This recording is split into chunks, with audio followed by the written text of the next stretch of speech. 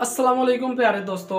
उम्मीद करता हूँ आप सब खैरियत से होंगे। आप देख रहे हैं हमारे YouTube channel Haris calligraphy and art उम्मीद करता हूँ कि आपने पिछले लेसन की भरपूर मशक की होगी। और आपको यह बात वाजा कर दूँ कि ये कोर्स कैलीग्राफर्स के लिए नहीं है, बल्कि बिगिनर्स के लिए। अच्छा तो जो मैं आपको पेन रिकमेंडेशन करूँगा, वो है एक फाउंटेन पेन सही वाला, और एक पॉइंटर इन दोनों में से आप कोई भी इस्तेमाल कर सकते हैं। इन दोनों पेन्स की अच्छी ग्रिप होगा। कि अगर आप में से किसी ने प्रीवियस लेसन नहीं देखे तो वो काइंडली देख ले क्योंकि वो बेसिक्स हैं। आज हम मुख्तलिफ़ हरूफ को बे के साथ मिलाकर लिखना सीखेंगे तो चले शुरू करते हैं। बिस्मिल्लाहिर्रहमानिर्रहीम। अगर हम बे को अलिफ के साथ मिलाकर लिखेंगे तो पहले हम बे को लाइन के साथ टच करके लिखेंगे और उसके ऊपर अलिफ। अगर हम इसको डायरेक्ट लिखें तो इस तरह से हम लिखेंगे बे और अलिफ। और इसमें यह ध्यान रखना है कि अगर हम बे को अलिफ के साथ मिलाकर लिखेंगे तो हमेशा लाइन के साथ बे टच होगा। अब बात करते हैं कि बे को ते के साथ किस तरह मिलाकर लिखा जाता है। इस तरह पहले हम बे डालेंगे और साथ ही लाइन से टच करते हुए ते डालेंगे।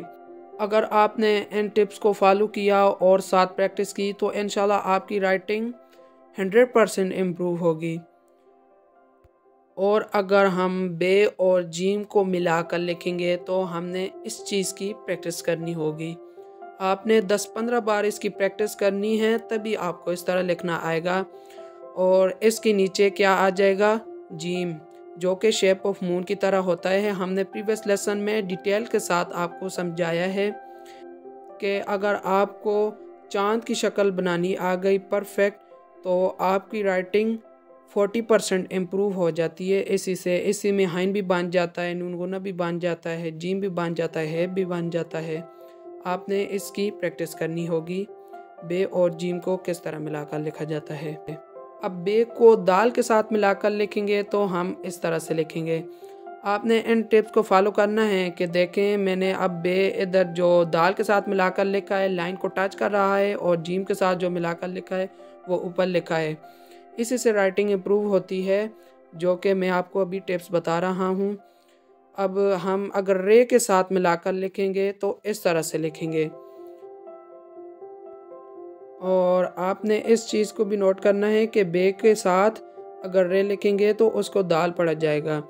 बे और दाल। और बे को रे के साथ मिलाकर इस तरह भी लिख सकते हैं, ये दोनों बिल्कुल ठीक हैं, आपकी चॉइस है, दोनों बेस्ट हैं स्टूडेंट्स के लिए। अब बे को सीन के साथ मिलाकर लिखेंगे प्लीज़ तवज्जो कीजिएगा, अगर आप समझेंगे नहीं प्रैक्टिस नहीं करेंगे ना हरूफ की तो आपकी राइटिंग इम्प्रूव नहीं हो पाएगी। अब बे को पहली लाइन से थोड़े से नीचे स्टार्ट करेंगे और साथ मिलाकर सीन लिख देंगे। और ये सीन के जो स्टार्टिंग पॉइंट होता है, ये स्लोप की तरह नीचे स्टेप बाय स्टेप नीचे होगा। शुरू शुरू में आपको थोड़ी प्रैक्टिस करनी होगी, थोड़ा स्लो लिखना होगा, थोड़ा मुश्किल भी लगेगा और जब प्रैक्टिस अच्छी हो जाएगी, आपको बहुत आसान लगेगा और आपकी राइटिंग भी बहुत अच्छी हो जाएगी। आप रवानगी के साथ लिखेंगे उर्दू राइटिंग बे को थोड़ा सा लाइन से नीचे स्टार्ट करेंगे, इस तरह से और साथ मिलाकर सीन लिख देंगे। और आपने यह भी ध्यान रखना है कि बे का या शीन का नुक्ता किधर आ रहा है। और यही बे और शीन भी बन जाएगा इस तरह से, और यही बे और सीन भी बन जाएगा। बे को सीन के साथ या शीन के साथ मिलाकर लिखने का एक और भी तरीका है। यह भी समझ लें, इस तरह से सीन को या शीन को आप इस तरह भी लिख सकते हैं। अगर आपको पेन के साथ हरूफ की सही शक्ल इस तरह बनानी आ गई तो आपके लिए मार्कर का यूज़ करना या हेडिंग्स देना आपके लिए इंतहाई आसान हो जाएगा, जो कि इसी कोर्स के अंदर आपको सिखाया जाएगा। अब हम बे को स्वाद के साथ मिलाकर इस तरह लिखेंगे। स्वाद की जो शक्ल होती है, इसका सिरा एप्पल के बीज की तरह होता है, ये आप देख सकते हैं। और इसके साथ बे को मिलाकर इस तरह से लिखेंगे। अब इसी तरह हम बे को ज़ात के साथ भी मिलाकर लिख सकते हैं, जिस तरह स्वाद के साथ लिखा है। अब बे को तोएँ के साथ इस तरह से हम लिखेंगे। इस तरह से पहले अलिफ डालेंगे और जिस तरह स्वाद का सिरा है, उसी तरह डालेंगे तो ये क्या बन जाएगा? तोएँ।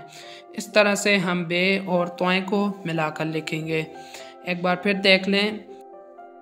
पहले अलिफ डालेंगे और उसके साथ जिस तरह हमने स्वाद बनाई थी, उसी तरह हम इस तरह से डालेंगे और साथ ये बे, और ये बे और तोएँ आ गया। अब इसी के ऊपर अगर हम नुक्तर लगाएँगे तो ये जोय बन जाएगा। अब हम बे को आइन के साथ मिलाकर इस तरह से लिखेंगे तो आपने इस चीज़ की प्रैक्टिस करनी है। इस तरह से बे और हाइन की। इस तरह आपने 10-15 बार प्रैक्टिस करनी होगी, तभी आपको इस तरह लिखना आएगा। इस तरह से, और इसके नीचे जिस तरह है के साथ, जीम के साथ हम लगाते हैं, इसी तरह लगा देंगे।